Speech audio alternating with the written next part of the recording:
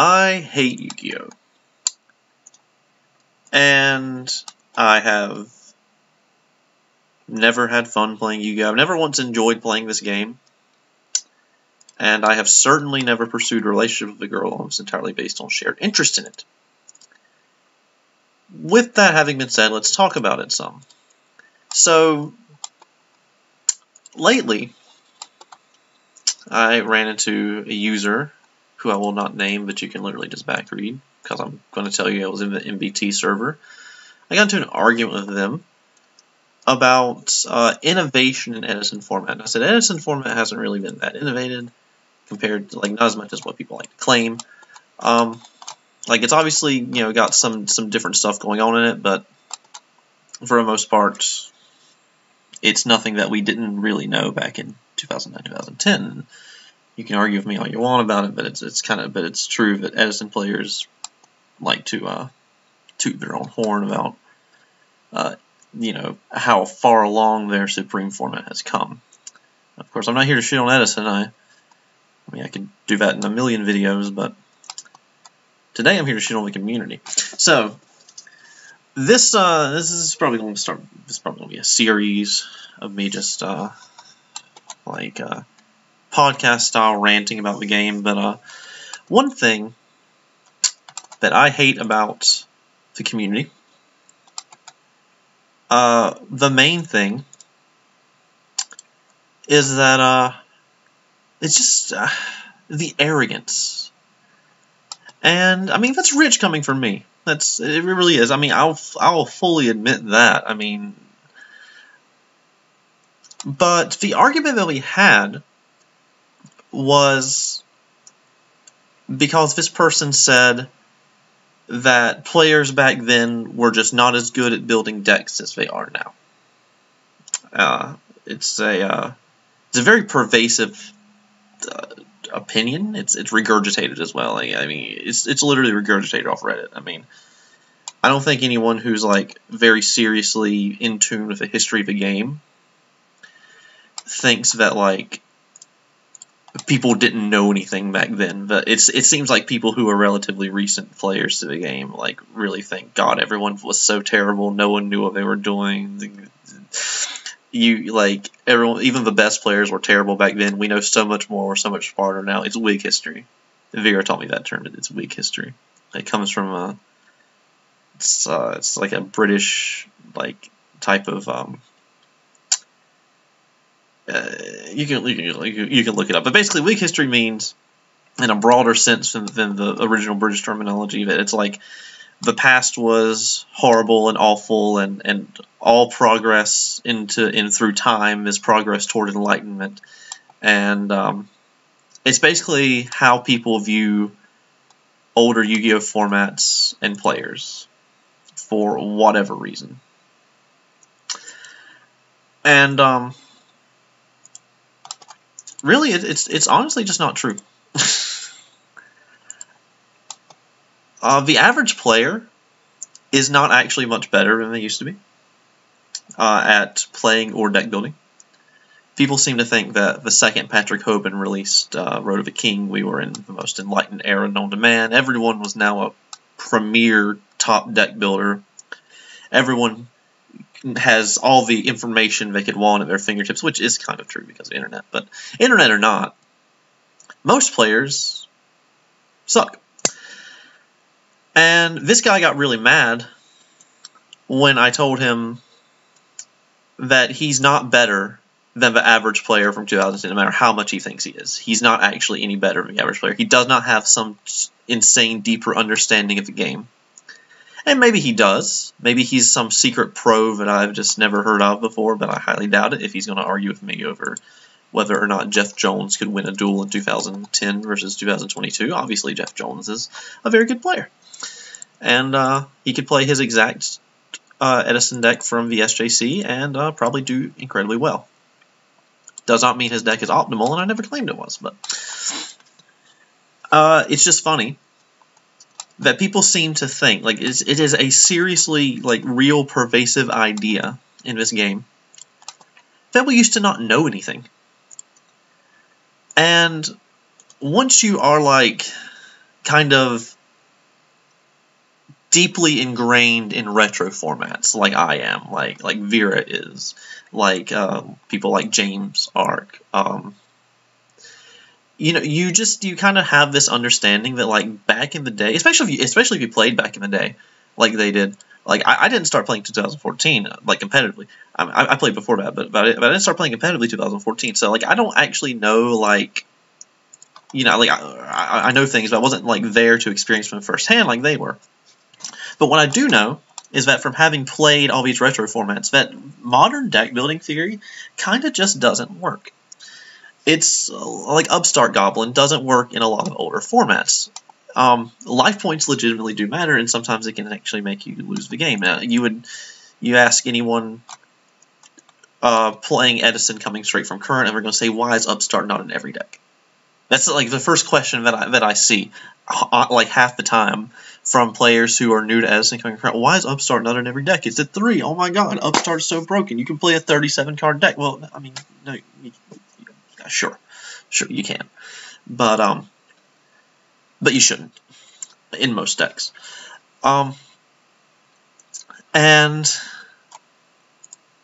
it's one of those things. It's, it's just one of those things that's funny to me because people are so like not self-aware of like the stuff that they like are, are saying like and, and that it's just stuff that's been said a million times and hasn't been true for any of them like players in 2010 were believe it or not not terrible. Every top player has built their decks for a specific meta. So when you look at a list from 2010 or just from any retro format during the time period, you're going to see lists that are a little all over the place. Because they are building for a wider field. Obviously, our decks are going to look a bit more streamlined in 2022. That's not necessarily innovation, that's because we have fewer people playing. So we have fewer things to worry about and it's not really modern deck building theory that's getting anyone there. In fact, if you look at most of the uh, most of the topping lists from like like Ribbit events, uh, from kind of like any any kind of Edison event, the decks that are winning don't look like they're deck built in a modern way. Like, look at uh, look at Pro Storm's list from Ribbit Rulers, literally.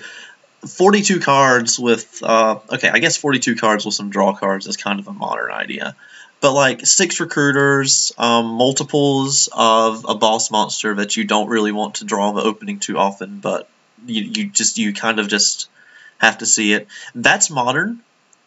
Like like the, the three Kristya thing is kind of modern, but like like randomly teching like Cyber Valley. It's not random actually, but but like playing battle traps, playing um, is even like you you would think that like in current format if you're going to play fairies. But like, yeah, three Herald obviously I mean, you can't play three Herald anymore.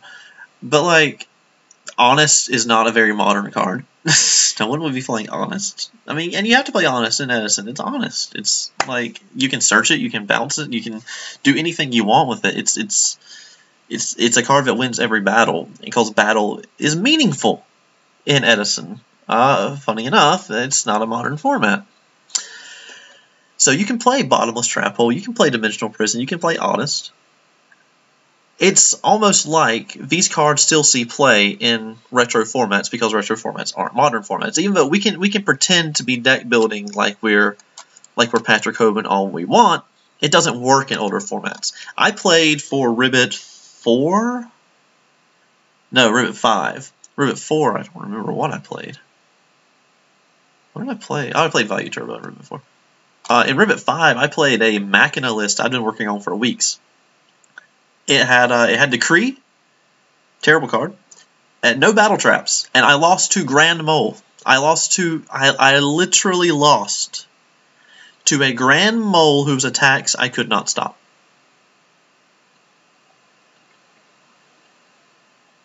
Something that in 2010 I don't think anyone would have really lost to. No one would have pulled up with Decree in the main deck and not had some deep prisons, at least in the side. I didn't have deep prisons in the side. I had Decree in the main. I was like, hey, trap cards. I'm not. I'm just not going to take out Decree unless I'm against Lightsworn. And then I don't want prison because I'd just rather have bottomless. Well, guess what card can't hit uh, Negotiation Grand Mole? Well, that would be Bottomless Trap Hole, which is the worst card ever printed, by the way. Um, I took a very modern approach to my Machina deck. I had plays for days if I didn't brick. Like it was Cyber Eltanin, um, yeah, it was like it was like three Eltanin, three Valley, and then two Cyber Dragon, and then like a huge Machina package. And then I had like Hamster Ryko Caius Battle. I didn't. Well, did I have Hamster? I don't remember if I had Hamster on that list or not, but I did have a Ryko Caius Battle Fader. It was uh, it was a deck where I intended to just make plays. Like I, I intended to uh, play my game and let my opponent play theirs and just rely on the fact that my game was going to be better. I did not do well that event whatsoever. I would have done better with with Jake Mattern's Gladden Beast list, with uh, with Jeff Jones's Quick Draw list. I, I, would I would have done better with those literal 2010 lists because they're built with the paradigms of the format in mind. Even though they were built for an older version of a format, it's the same format, right? It's like it's astounding to me that people think that these lists are terrible, that they have no redeeming qualities, and that the players at the time didn't know what they were doing they were making them. So,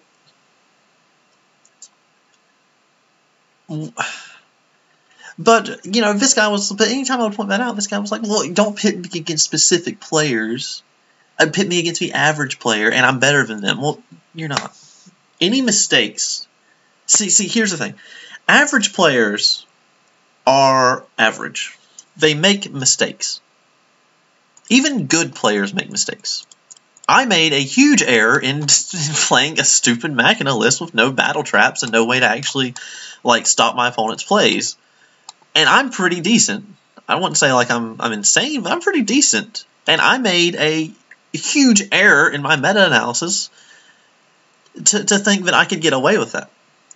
But Edison format has too many decks for me to get away with that. Like, if everyone was on Value Turbo and didn't have Grand Mole, like, it was literally a Value Turbo player, by the way. It was um, Masahiro. He uh, he also made it, he, he topped that event. Uh, you know, props to him. He uh, made it to uh, Ribbit Rulers, and he um, he did not top Ribbit Rulers, but neither did I, so I can't really say much. Um,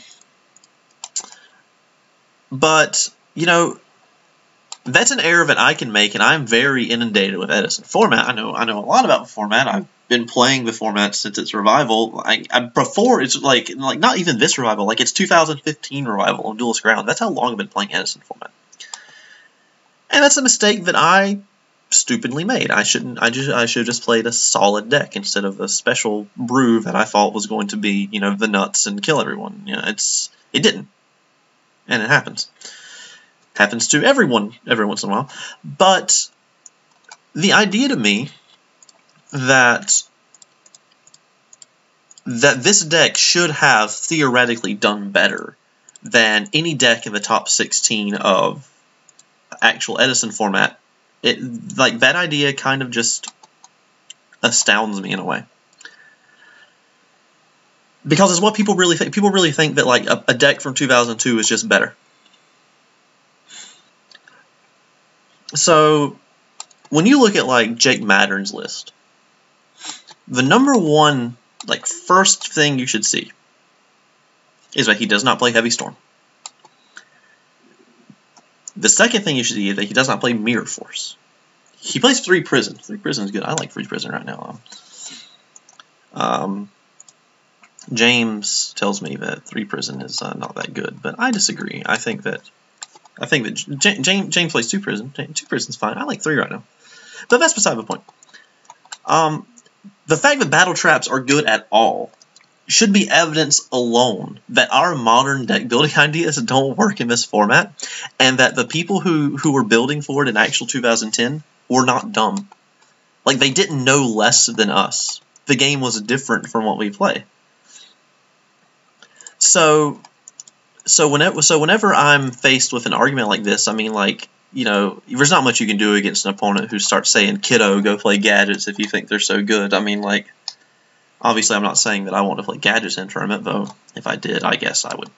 I guess I'd do fine. Gadgets play battle traps, and you can play Phoenix Wing Wind Blast, and the Machina cards themselves are pretty good. I think I think Machina Gadget is probably just better than the Cyber Machina deck, which is funny because I was talking about how bad I think gadgets really are, and I do think gadgets are kind of bad, but it's not really about gadgets being bad.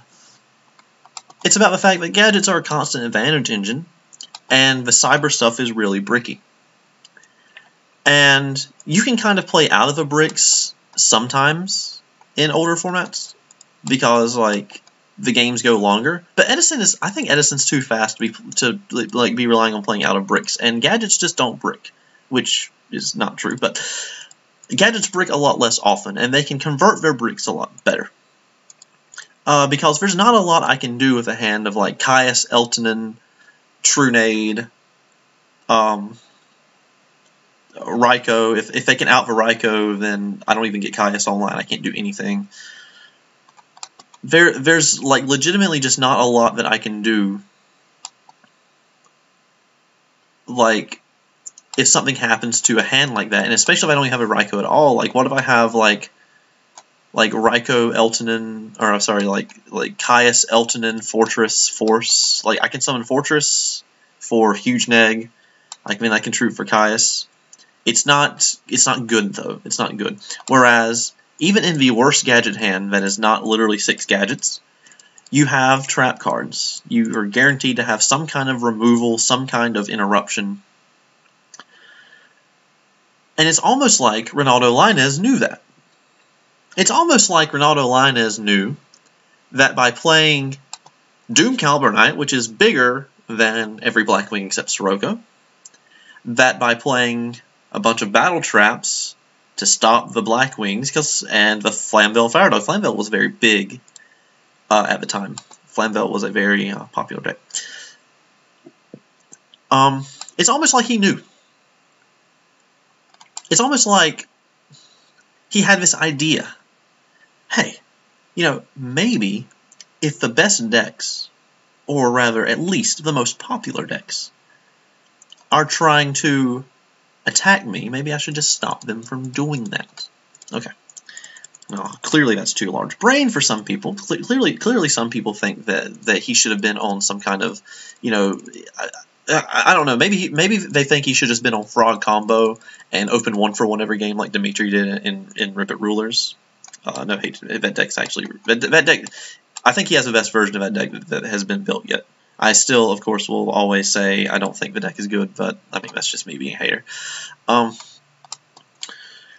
uh, props to Dimitri, obviously he got third place with it. I mean, like that's better than any bad deck I've ever made. So, um, but it's like, but when you look at decks like that, when people when people who are coming from like current formats see decks like that, that is immediately like their first thought like wow we are so much better than back then. We have like look at this. We come up we came up with this whole new straight up just about ftk strategy. We must clearly be much much better players than everyone was back then. And it just doesn't really work like that. Like frog ftk um, became a deck after Ronintoadin was released, and Frog FTK was immediately known. And I say I say immediately within maybe like a month, you know, people kind of like people people started to have this idea of like, wow, Ronintoadin goes infinite, but you know, they didn't really like you know fully have it formulated how to do it. But you know, after a very short period of time, Frog FTK became known it didn't take it really didn't take very long to, to, to, to innovate that to be some ingenious uh, you know Yu-Gi-Oh player who decided to kill your opponent first turn. FTKs were nothing new to the game either. We'd had Library FTK, uh, 2006 Nats, Vincent Tundo top 64. We'd had a Shadow Freezes of Olm FTK and uh, um, after Phantom Darkness came out. FTKs were just uh, yeah. Empty Jar was not really an FTK, but a good FTK. It was um pretty. It was it was it was just like pretty well known that when you see a card that can go infinite, maybe you can FTK with it. And so it didn't take it didn't take long. But obviously before that, before Ronintoadin comes out, it's not so obvious to see that you have some kind of nuts combo. And I feel like this deck is uh, why Power Tool was uh, the uh, sorry, sorry, I, sk I, skipped over something. I don't, I don't know if I mentioned it. The, the conversation originally started because someone mentioned Power Tool and Ancient Fairy Dragon being such strong and modern feeling cards, and I'm like, well, Power Tool is actually just completely mid. It's like just, it's just not very good at all. It doesn't search anything good. Um, you know, it has Mark, Mark of a Rose, which is Snatch Steal, but it's a very conditional Snatch Steal, which is uh, not so great. And um, DDR. So there's a third target for uh, Power Tool Dragon, which Dimitri used, and it's the only good target for Power Tool Dragon, which is uh, Symbols of Heritage, which is an absolutely absurd card. Um, does not the card does, like Symbol of Heritage? This card doesn't need to exist, much less be unlimited, like and searchable. Like that's absolutely ridiculous. But uh, so, but yeah, the conversation rose because of Power Tool. But like, you can say all you want that Dimitri innovated a new frog combo deck, which he didn't. It was Frog Slicer, and then Dimitri like improved on it. But that's also beside the point. But it's completely out of completely out of left Like the mental gymnastics required to go, well, if we had this deck now and we didn't have it in 2010, then 2010 players must have been behind. They must they, they just suck. We're so much better than, than we used to be. People like who played back then just they just don't know the game like we know it. They're just not as good as we are. And it just completely ignores the fact that it is a different game. It is is like the the cards that are dominating the metagame in uh, at any given time are what are obviously what's going to guide your deck building principles, right? And um, it's like I just don't get it. I guess that's all I can say. I guess I, I guess I just don't, I just don't get it. Like the I guess the, their mental like direction in saying something like this is that the um is that like everyone should just be on these decks. Everyone's behind, so it doesn't matter that, that you're building for the right meta, or, or it doesn't. Sorry, it doesn't matter that you're building right for the meta. What matters is that everyone is behind, and so we're and so everyone is so everyone's just terrible, and so it doesn't matter that, that you're building correctly for them. You're you're behind because you're not building something broken and stupid, and they're behind because they're not that's kind of like the logic. That's kind of like the train of thought. Like they're like if Patrick Hoban was playing in 2010, which he was by the way, but um, if Patrick Hoban were were the top player in 2010 who had discovered all of his 2013 and 2014 theory, he would have dominated the format, which is not true. In fact, uh, Patrick Hoban started topping events in 2010 um, using theories of the time. Uh, he didn't really have new theories to innovate at the time period because the known deck building principles worked for the game. And, he, and he's he's mentioned this. He's he's actually in, in one of his uh in he had a three part article about um like his like his upbringing in the game. So he had like the early days where he was terrible and just like kind of engaged in game and Yu-Gi-Oh content, but didn't really like mm, like know the game. Uh, like like he knew the game, but he didn't know the game. You know, you know what I mean. Um, then there were his uh, his days where he started topping events. And he started like proving that he was a good player. But there was uh, one person, this is Soul. Um, you, everyone in format library community should know Soul by now. Soul's he's a, he's a good guy, but Soul kind of like really pushed Patrick to be far better because Soul never accepted him as a good player. They were on the same team. And um, so around 2008, 2009, and then into 2010, which is when Patrick started topping, Soul would constantly berate Patrick, telling him that he was like the worst player on the team, that he, he played terrible, that his decks were awful, um, that he just absolutely would not make it on the team, that he was he would drag the team down. And the reason Patrick Hoban topped events started getting better so that he could top events was to prove this person, Soul, wrong. Um, so when he does finally, at the end of 2010, start topping events, he comes back to, the, to the team chat. This is on Duelist Grounds at the time. He comes back to the team chat and he says, "Look, guys, I got my first top. Like, like, aren't you proud of me?" And Soul is just like, "I don't care." Soul didn't even play in, in person at this time. Soul had uh, Soul had quit playing in person. If he if he if he even ever I don't remember if he even actually did play in person at this time. But um, like Soul didn't care. I think that that was that, that's the crazy thing is that like you know all of it all, like all these tops that Patrick he topped like three events back to back and Soul just didn't care. Um, Patrick realized that like what he was doing didn't really make him a good player. It made it didn't make him a consistent player, but it wasn't really enough to be like a good player per se. Like not even up to like his own standards had become like as high as Soul's. He was he was like set to prove that he was even better than that. And um, I don't know why I'm going through all this story, and I actually kind of lost my point. Point is, Patrick Hoban was stopping events in 2010 with the theory that we had in 2010.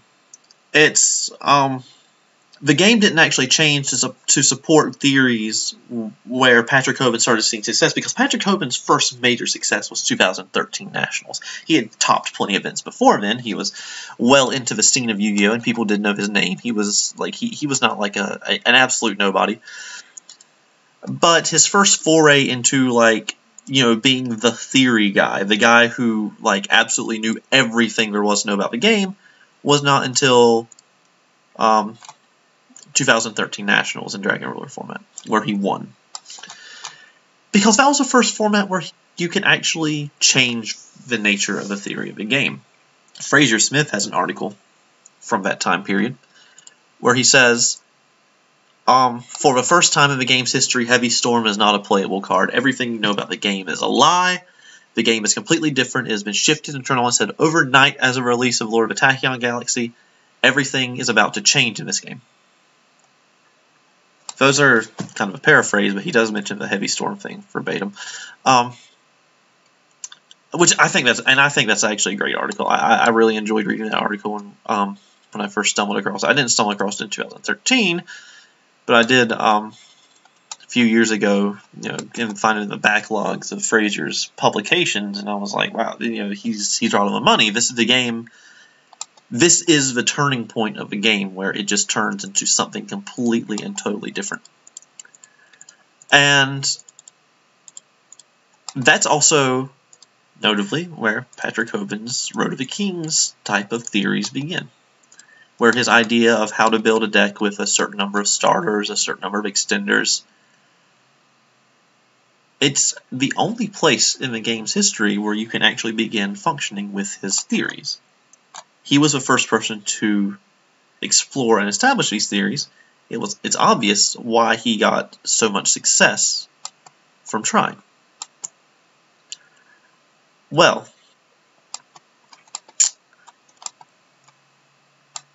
so all this is to say that the community annoys me with, with this type of regurgitated arrogance. Because when you when you really get into retro formats, when you really start to play, uh, when you have I don't know, when you have a top in a retro format event, when you when you've won even even when you've won something small, a 12, 16, 20 man retro format event, um, but especially once you've got tops in in events as big as Ribbits, um, FLCs, GFCs, um, all kinds of uh, uh, Goat format Europe tournaments. I don't know um, deck devs. I like you know, there's a lot of big Edison and Goat tournaments. When you have tops in those, and I have I have quite a few. I have I have ones people don't know about. Uh, but uh, in due time, and the but but once you have this these sort of tops like like me, like uh, Silchus Beast Mode, um, James, Rana, Um, geez, uh, who else? Like even Carpath. Carpath's a great player. Um, Souls Manic. Um, I don't think Souls Manic has a ribbit top actually, which is which sucks. He, he's a great player. He's he's one of the best players I know. Um, Indicud. Um, uh, Pro Storm, obviously. Pro Storm. How, how can I forget Pro Storm? Um, Hydro Pump. You know, like all of these people. When you have this, you know, this base, this, this like kind of like platform to stand on not like a not like a pedestal that you're raised on, but kind of like like it's like like I'm not I'm not trying to say like like we're we're above anyone. I'm trying to say more more along the lines of like when you just just like when, when you when you have this this base of knowledge that you're working with from experience and not and not just like pure not not just knowledge from like having read some things. But knowledge from having truly, literally experienced them. And, like, kind of seen firsthand exactly how building a deck works in the format. You really throw away this idea that people somehow were just bad when the reality is that they were building for a meta that they had to that they had to build for. And and older Edison metas, SJC Edison had like God, it it wasn't 2,000 people, but it was I think it was like 1,500 people. Uh, it was a big SJC. Like, SJCs were not as big as YCSs, but Edison was the last SJC. Right before it became YCS, it was a Konami SJC. Konami had done a lot more marketing for SJCs than UDE did. Um, they got a lot more players than uh, UDE got from the SJCs. So when there's this huge diverse field before you and historical Edison, people people love to laud Edison for the diversity. It's really not that diverse, by the way. Uh, most of the diversity is pretty artificial. Um, but people love to laud modern Edison for being diverse. But historical Edison, all historical formats, are more diverse at the time you can call this innovation if you want, but reality is that people are just kind of like uh, online gameplay lets you play with whatever cards you want, and that's kind of a big factor for um for like real events. Like you kind of just can't get every card that you want if you're not a top player already, and like don't have people sponsoring you, or you're just not like rich or something. Like at the time it was it's it's actually legitimately very hard for like people to to get you know all the cards they need. Um you have as like like like as a result of that a much more diverse field to worry about. Much more diverse than modern edison is. So it doesn't make a lot of sense to have a streamlined deck. If your if your level of play is high enough, it doesn't matter if your deck's not perfectly streamlined. What's going to happen is uh, you're going to outplay your opponent if you're better than them, or or just or just get luckier than them. It's it doesn't really matter. Like they're it's it's the same thing, really. Outplaying, outdrawing, it's it's, it's the same thing. But that's a topic for another day. Um, but like really what we're working with when we think about it in, in these terms, though, is it like.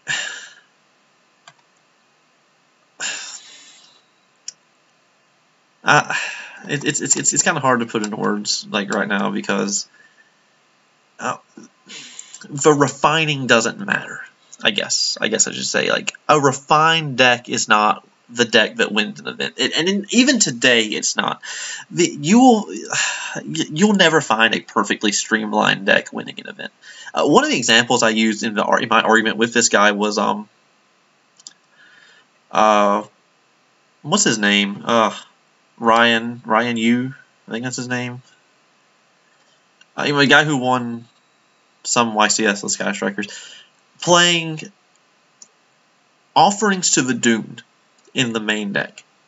Specifically, specifically to lose tempo. And I don't like using word tempo in, in, in Yu-Gi-Oh! really because I don't think it like has a great definition in Yu-Gi-Oh! But I like using it here because it's a chess term. And you know, I'm going to get a lot of groans from half the audience now. Um, the idea that like um, if you, if it's your move and you don't want to make a move or you need to like be a, uh, like a move like after your opponent do something, you can like just like move your king or uh, like a certain like like the opposite direction from where he needs to go, and then move him back, and it loses a tempo and puts you where and puts you where you need to be. It's, it's called it's called losing a tempo. So he played Offering to the Doom specifically to lose a tempo to to get rid of a draw phase. He played it with the express intention to not draw a card, and that would put his opponent on the deck out when he has Mystic Mine up and they can't out it. It's completely non-standard tech. There's absolutely no way anyone is thinking on that level when they're building a deck, unless they're a person who's going to go on to win the event, or at least top it. Uh, he didn't actually. Was that the one he got? Was that was Nats, wasn't it? No, I that was Nats. He got second place. Point is, no one no one's thinking like that unless they're going to do well at the event. And it's exactly that type of deck building that has seen success both in the modern day and in older um, uh, in, in older formats. One thing, whenever we talk about Jeff Jones's list, um, I still talk to Keegan a, a bit, and um, anytime Jeff Jones's list comes up, he mentions that Night Assailant's not very good, but it goes crazy because recycling Ryko with Night Assailant can just win versus certain decks, and he's completely right. Night Assailant is well known to not be that good. I'm pretty sure Jeff Jones knew going into SJC Edison 2010 that Night Assailant, that the combo that he was going for was not that consistent, that he was not really going to achieve that combo as much as he wanted. But he knew. He knew that against the first seven rounds of opponents, chances are he resolves a Night Assailant loop with uh, to get Ryko back with Drill Warrior, and he wins the game. I can guarantee you that was his thought process. It was to just have a play in his deck that if his opponent's deck was not as good as his, he would just win the game. And that's exactly what he did several times. The goal was not to have the most consistent deck. The goal was not to have the most optimal deck, and the goal for anyone who's ever won a tournament is not to have the most optimal deck. It's to have the deck that has the best chance of making your opponent's plays useless or just completely and totally auto winning against them because everyone everyone loves free rounds. The, the point of building a deck to be very very good is to not even have to try to win. It's to get free. It's to literally get free wins. Uh, ask Johnny Lee. Johnny Lee in one of his GOATformat.com interviews was like, uh, uh, he, I think he had a buy or something. He was like, I was really happy about it because I didn't want to play. I wanted free wins. And it's like a lot of a lot of people are too arrogant to admit that. Johnny Lee's not. He he says uh he says he has no no shame and no pride it. He's just like, yeah, I mean, I want to win the tournament, so I want free wins.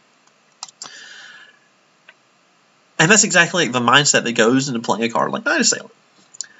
So when you look at older decks, it, you you are completely tunnel visioned not you, not not not you as a listener. If you're listening this far and you haven't been offended by the things I'm saying, then you probably disagree with me.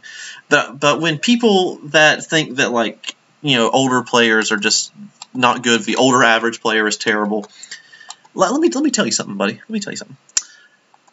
You are no better than them because you are both just copying lists that you found off the internet, except they found them in a magazine instead. Simple as that.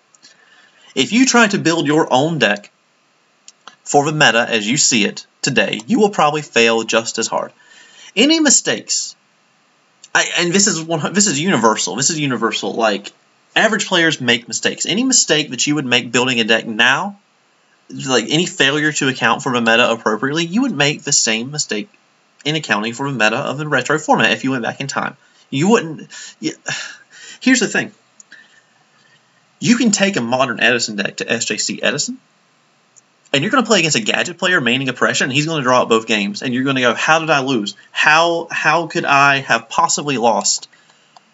Well, it's because you played a deck from Modern Edison that doesn't respect main deck oppression because of main deck oppression is bad because the best deck doesn't lose to it. Well, guess what? The best decks in 2010 Edison didn't lose to it either.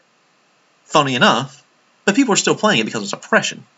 They had PTSD from from their Teledad opponents flipping oppression. It was very obvious. Oh, oppression is such a good card, right? Have to I have to play oppression because it's it's oppression. So you're going to lose with your optimal deck to someone playing a suboptimal deck, and you're going to go, well, how can this happen? Well, it's because you made a failure to account for the meta at the time, and these players who topped and won the event didn't. Are their decks, in hindsight, kind of silly looking? Oh, yeah, sure. But, uh, anyway, this, this this video this video is just a rant anyway.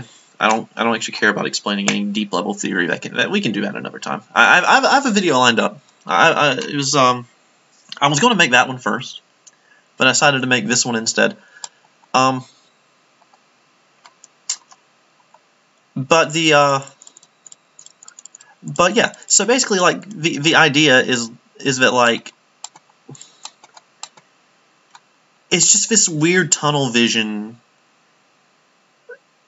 on like flaws in deck building. Like you're like you're trying too hard to point out flaws to justify saying that you're better than like older players. Like when it's just a different game. A lot of people like say Yu-Gi-Oh is Yu-Gi-Oh, and in a in a way it is, but really it, it's not. It's it's like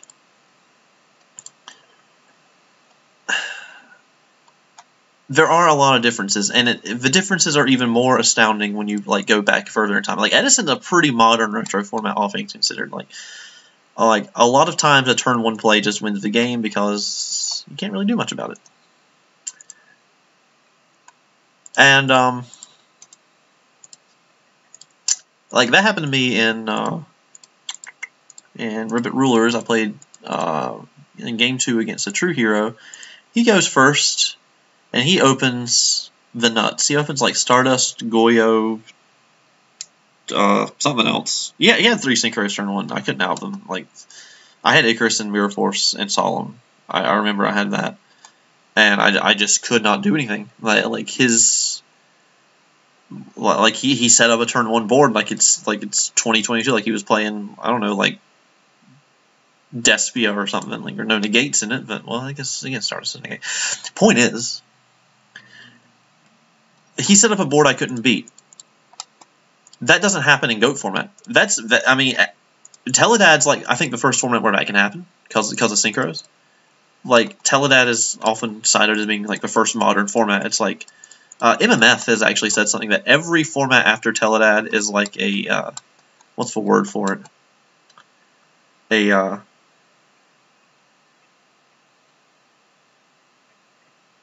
know, it's not a callback, but like uh, a footnote. I think he said a footnote, a footnote to Teledad. Because Teledad started this idea of make a board, turn one, set oppression, and win the game. You just make Colossal Fighter, you set oppression, your opponent can't play the game anymore. That was, you know, that's the Teledad strategy as of, like, January in the format. Houston, I think, was the SJC that oppression that like the oppression, the the one telly, two Krebons stuff came about. Pretty sure that was pretty sure that was SJC. Um, and every and every once in a while in in Edison format you get that type of game. And it's not really a problem with the format per se. I mean, it's, it's a problem with the game more so. Um, but I'm not here to complain about that. I can complain about that in any video. But um, the point I was trying to make is yes, Edison is a bit more of a modern format than than like you know older retro formats like uh like like Go or, or Perfect Circle. Like those are those are probably my two favorite retro formats. Um, maybe Critter, which is as old as it gets without being terrible. I'm sorry, Yugi Kaiba players, but your format sucks. Um, so, but the way I see it is that like it doesn't matter how modern it is, it's still a different game. It's like it's it's only modern because we've tried to streamline decks in a modern way. And every single tournament, you see these decks doing well, but you're going, but you see decks that just play 40 good cards. Sometimes it feels like are also up there in the top tables with them. We've seen Gladiator Beast topping back-to-back deck devs. People think Gladiator Beasts are dead in the water. And, well, are Gladiator Beasts bad in Edison format? They're they're they're shadowed a lot, but they're a lot more competent competent than anyone likes to give credit for. Um, I mean, I will tell you first, you know, like first thing in the morning when I wake up, oh, Glad suck. You know, Glads my favorite deck, but I'll tell I'll tell you like Glad suck. They're they're not they're not good. They're you, know, you can't play them. They're not great. Just uh, don't try. Just, just don't waste your time. But they have topped two deck devs in a row. Something that many decks can't say. So basically, I guess, the whole point of this video is just to rant about how arrogant I think the community is, and it's not just arrogance, it's like, it's, it's one thing to be arrogant, like Johnny Lee's arrogant, but he's a good player. Um, I'm arrogant, but, well, not, well, like, point is, we're not that much smarter. and we're, I don't think we're smarter at all. And I don't think the average player is much better than the average player from uh, 2010. I don't think, you know, like the internet has not helped most players get better at the game. I'm, I'm just going to tell you that outright. There are plenty of players who are just bad. And there are always going to be players who are just bad because the average player is just bad. It doesn't matter if they're like if they don't instantly lose the game on turn one, like that because that was never happening anyway. It doesn't matter like there's there's no real there's I guess I'm saying there's no real meaningful metric for determining like how good the average player is. Like like what has been good in Yu-Gi-Oh? Is it like sequencing? Is it like meta knowledge? Because players are just as bad, if not worse. Honestly, like you can't teach sequencing. Um, you can't ingrain concepts like in, in people without them uh, without them like putting the work themselves. Um, like like what is like what is a concept that like players are like bad at and have always been bad at? Like um, oh, we were talking about in format library earlier before I recorded this video. Who's the beatdown?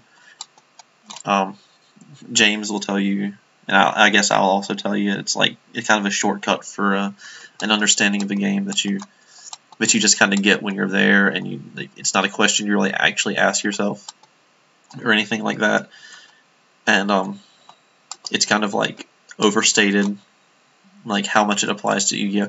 But point is, it's still a a an issue with with players. Players are not very good at figuring it out. And um,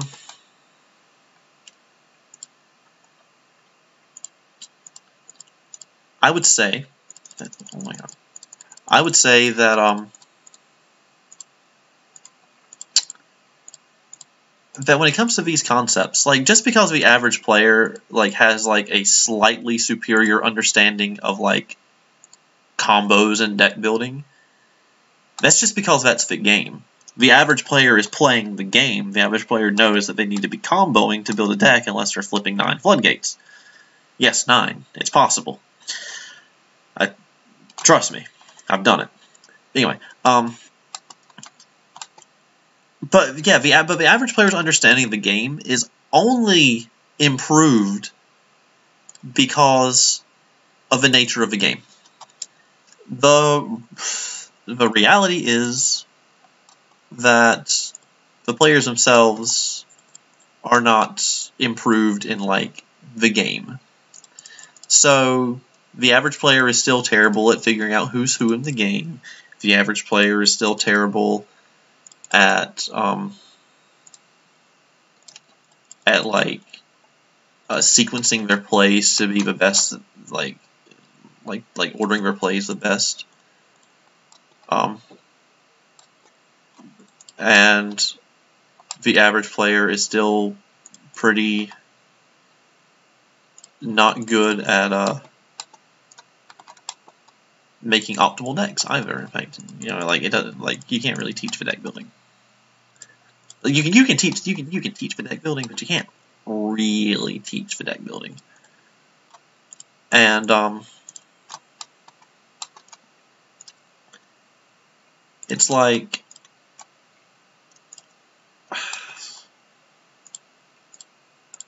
yeah, yeah, but yeah. So I, I just feel like the average player is not actually significantly better. And if you ask um, a player like Vera, who was the person who really first made that apparent to me, uh, actually, she posted a Twitter post, a tweet about, um, she said something like the average player is not significantly better than um, the average player from back in the day, but the decks are, so you can't like randomly lose to some idiot with rank 10 trains. And I was like, you're so right, you know, like like players still suck, but but the decks are a lot better, so it makes it look like the players are better. And um and I guess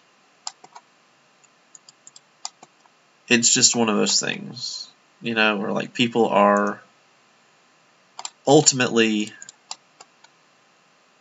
never really going to like fully grasp that like their own understanding of a game is not exceptional.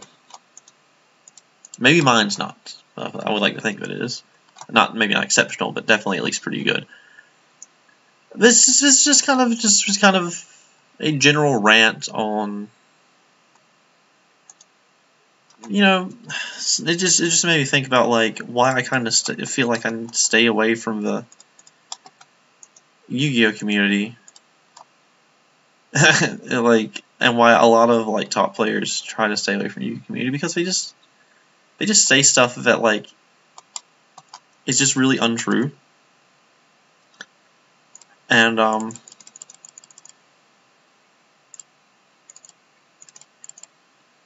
so yeah.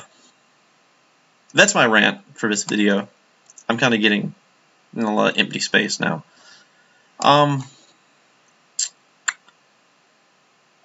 if you like the Yu-Gi-Oh content or if you think I'm a dumbass let me know in the comments if you like the RuneScape comment con comment content let me know and uh if you don't, then I don't care. I'm still going to have to record something while I do this, and so you might as well see me grind to 99 magic on my pure. So, um, yeah, I will probably record something else later. I'll see you guys. And um, if I never upload again, don't be surprised.